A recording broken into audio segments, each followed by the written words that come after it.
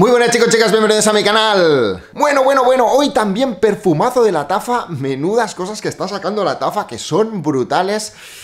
Aquí lo tenéis, al noble Zafir de la tafa. Bueno, esta colección de la Sal Noble consta de tres fragancias, la Guacir, la Zafir y también después la Amir, que de hecho esta fragancia fue yo en la que me fijé porque como estaba haciendo la reseña de la Isk al Suyuk, la Gold, eh, esta era una fragancia que había visto que se parecía también a Rosendo Mateo número 5.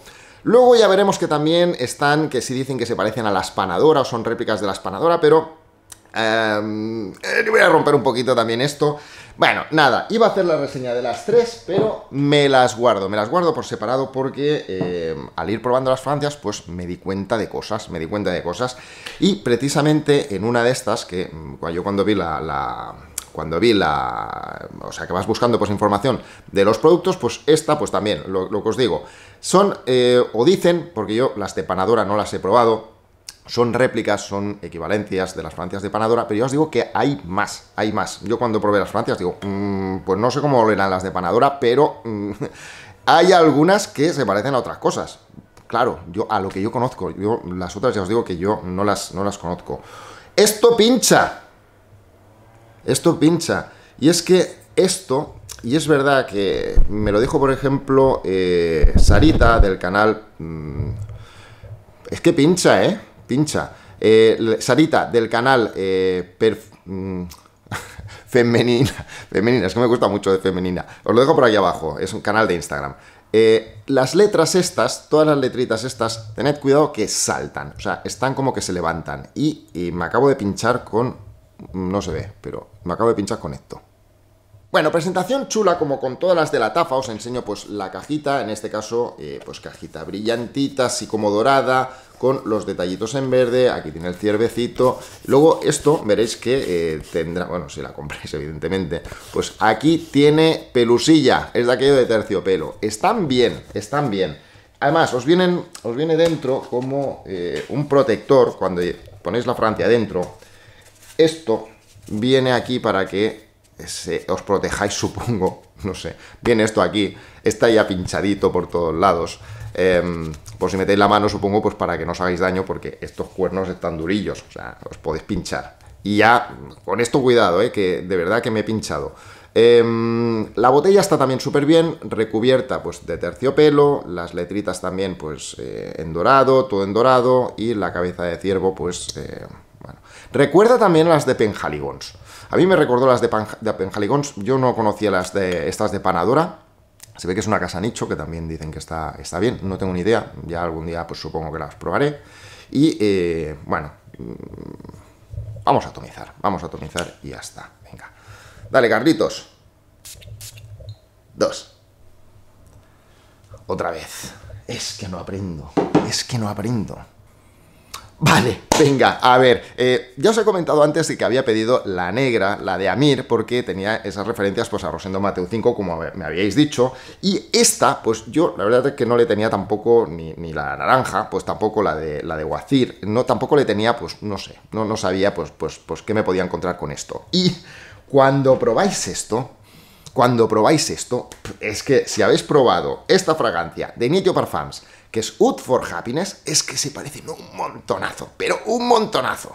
Sí, cuidado, cuidado que ya me iba a atomizar encima del café otra vez. Voy a atomizar la de Ud for Happiness aquí. Dos.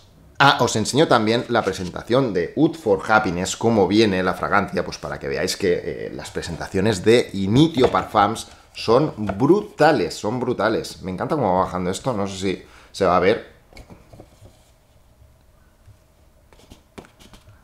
me está, me está dejando mal ahora.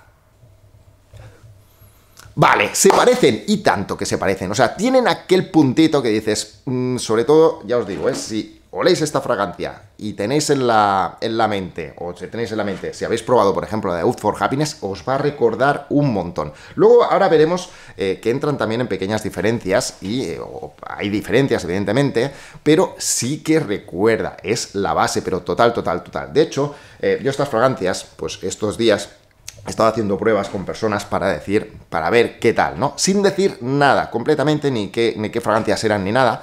Y todas, todas, todas me dijeron lo mismo, todas. O sea, olían una, olían la otra y decían, se parecen, ¿no? ¿No es la misma?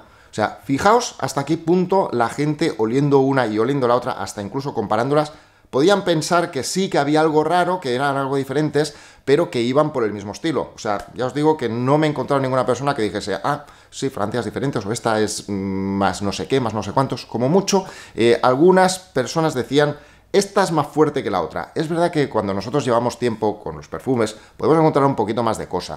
Las personas que no están habituadas se guían generalmente por, esto es más fuerte, esto no me gusta, em, cositas de estar así. A veces cuesta encontrar esas palabras, es normal.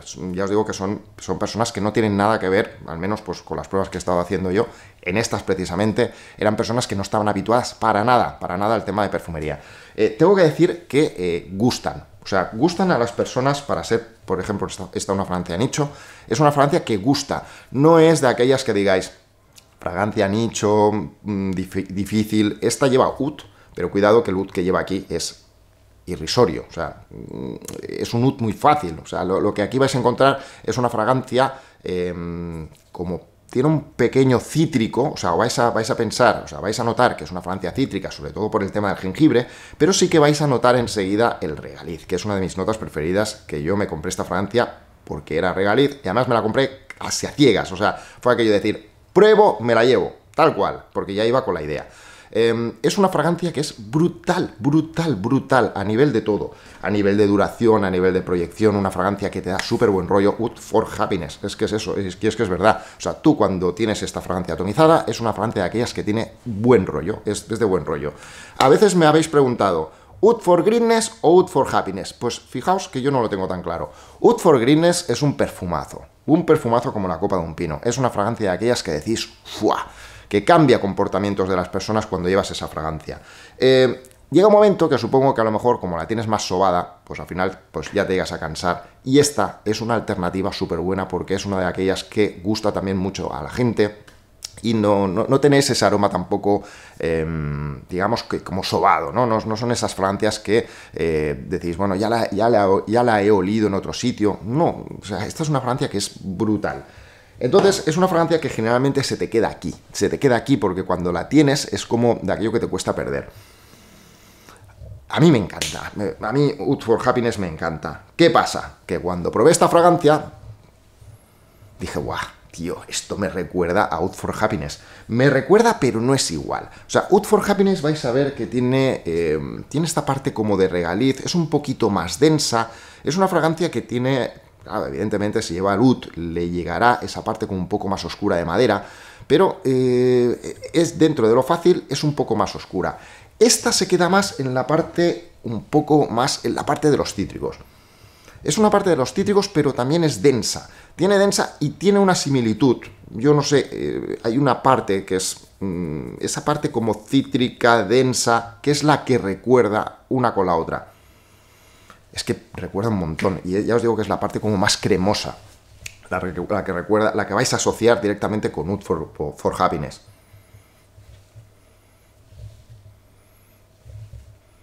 Cuando entráis directamente a comparar una con la otra, vais a ver esas pequeñas diferencias. ¿eh? Mm, for Happiness, más, más cosas, tiene más cosas. Y si le metéis ahí la nariz, apretando aquello de, buscando aquellas cositas, sí que vais a notar un poquito el Ut, sí que lo vais a notar pero está tan bien, está tan bien, tan bien ligado que la verdad es que está, que está muy bien esta fragancia. Ah, son de aquellas de aspirar, aspirar. Y esta se queda más en la parte eh, superficial, en la parte más cítrica. Cosa, cosa que también está muy bien. Em, esta ha gustado muchísimo. Cuando la gente que cuando las hacía comparar las fragancias me decían, esta es más fuerte. Mm, yo eh, o sea, cuando ellos usan la palabra fuerte, no quiere decir que esta tampoco sea más potente, sino que es más densa. Eso también lo vais a ver cuando, cuando las personas, cuando tratáis con personas que no tienen tanto vocabulario de, a la hora de definir por las fragancias. Fuerte, además de que quiere decir que es una fragancia que es potente, eh, cuando se encaran dos fragancias potentes y una dicen que es más fuerte, es que lleva más cosas, es que van a notar como más matices. Esta tiene más matices. Esta es más sencilla.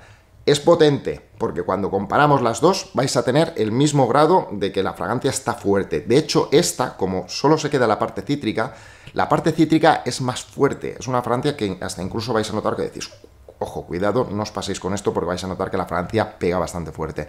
Pero eh, tiene menos recorrido. Es una fragancia que no tiene tanto, tanto abanico de notas.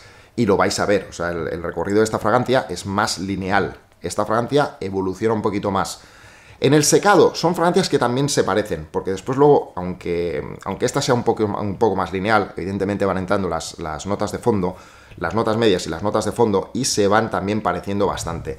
Eh, son fragancias que después quedan muy avainilladas, fragancias que quedan como muy dulces, con aromas de estos así más parecidos a, a caramelito. Yo las tengo atomizadas también en los papeles secante siempre en piel va a ser mejor. ¿eh? Aquí mm, el desarrollo siempre es mucho más lento, para llegar a las notas de fondo aquí siempre es mucho más lento, o vais a ver que la fragancia como aguanta más es más difícil ver ese cambio. En piel vais a ver la evolución mucho más rápido. Y sí, se nota que eh, son bastante parecidas y en el secado se van pareciendo más. ¡Qué buenas! ¡Qué buenas! ¡Qué buenas! Otra de las cosas que siempre os digo es cómo quedan las fragancias en el aire o cómo huelen en piel. Donde vais a ver más diferencia es cuando acercáis la nariz y aspiráis, o sea, cuando la fragancia está aquello, pero eh, cuando, cuando estáis oliendo directamente la fragancia en piel a lo bestia, o sea, muy de cerca. Pero es que nadie os va a oler de esa manera. La gente lo que hace es oler en el aire, o sea, cuando pasáis la estela, el sillage, eh, y en el sillage, en el aire, esta fragancia, lo que es la proyección, es muy parecida, son muy parecidas. Vais a ver que las fragancias en el aire son bastante parecidas.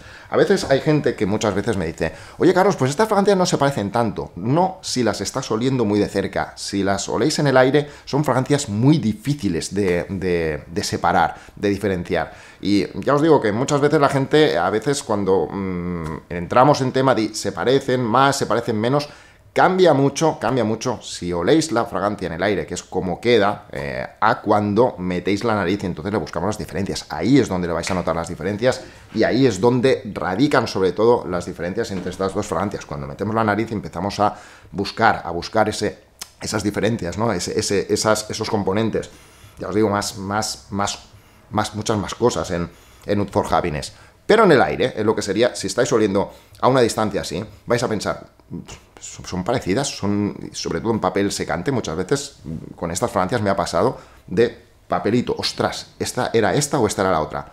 Y no tener capacidad a veces de decir, mm, aquello porque una es un poquito más densa, ¿eh? Si no, a veces es difícil. Situaciones para llevarlas son fragancias que son deliciosas para llevarlas en cualquier momento. De verdad, estas fragancias las podéis llevar en cualquier momento. Eh, fragancias para citas, fragancias para el día a día. Eh, fragancia incluso, si queréis, para el gimnasio, muy poco, ¿eh? Muy poco, muy poco porque son de aquellas potentes. Pero son fragancias que duran porque vais a tener una duración excelente en piel, más de 12 horas. O sea, son fragancias que os duran hasta el día siguiente tranquilamente. La vais a tener ahí, es que la vais a estar oliendo. Lo único, la proyección, que tampoco es una Bismuth. O sea, no vais a tener una Bismuth, por eso me atrevería a decir, bueno, es una fragancia que una atomización te la puedes llevar para el gimnasio, porque además es que huele divina. Huelen divinas las dos, huelen súper bien. Eh, por eso, por el tema de, ocasiones para llevarlas, son súper versátiles. Em, Edades, lo mismo, siempre digo lo mismo, es más la experiencia que tengáis con la fragancia que no eh, la edad que tengáis. O sea, yo las veo pues bastante fáciles, completamente unisex también, son completamente unisex. Y bueno, pues la diferencia de precio, pues imaginaos, es que es abismal. Esta fragancia, 300 eurazos, pues y esta fragancia la vais a encontrar por 20 euros. Ahora no, ahora la vais a encontrar un poquito más cara. Eh, depende de qué páginas ya está agotada. Yo creo que esta la compré en Makeup. Eh, últimamente, como estoy haciendo tantas compras entre Makeup, entre Brasti, entre la de Notino, ya no sabes a veces dónde estás comprando. Eh, yo la compré barata, lo que pasa es que vais a ver que creo que no sé si era ya Notino o Brasti, creo que estaban ya rozando los 30 euros, 28 euros o algo así. O sea que echadle un vistazo, yo siempre os digo lo mismo, buscad, eh, poned en Google el nombre de la fragancia y luego buscad en Shopping y ahí vais a ver dónde os salen alternativas cerca de vuestros países o mm, alternativas páginas online que estén cerca o que manden a vuestros países para ver disponibilidad, para ver precios. Veréis que a lo mejor en una página está, en otra pues no está, y así. Es la manera que yo tengo también de buscar un poquito pues eh, la disponibilidad y las fragancias, los precios de las fragancias. Recomendable, Carlos, pues imaginaos, me he puesto mi camisetita verde esta de, de, Hulk aquí con el mismo colorcito y tanto, y tanto que recomendable, además, pues por el precio que tiene, es igual, aunque la paguéis, fijaos lo que os voy a decir, aunque la paguéis a 30 euros, es una fragancia que, fijaos la diferencia de precio entre las dos, es que es una salvajada.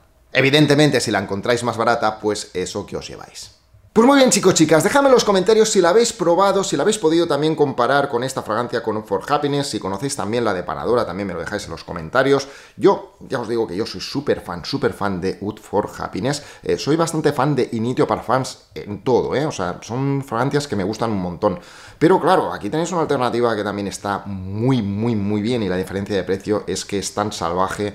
Nada, dejádmelo en los comentarios, eh, la gente os lee, eh, siempre os digo lo mismo, después luego pues me vais dejando también muchas recomendaciones, dejadme también recomendaciones y luego me guardo estas, me guardo estas también para sacarlas en otro vídeo en otro vídeo o en otros vídeos, así también eh, podemos entrar, bueno, esta seguro que os la comparo directamente con las, las que saqué el otro día Rosendo Mateo 5, porque estoy súper, súper enganchado a las de Rosendo Mateo 5, a las, las francias que, eh, que, son equivalencias de Rosendo Mateo 5. Os dejaré un vídeo por aquí, por si no sabéis de qué estoy hablando.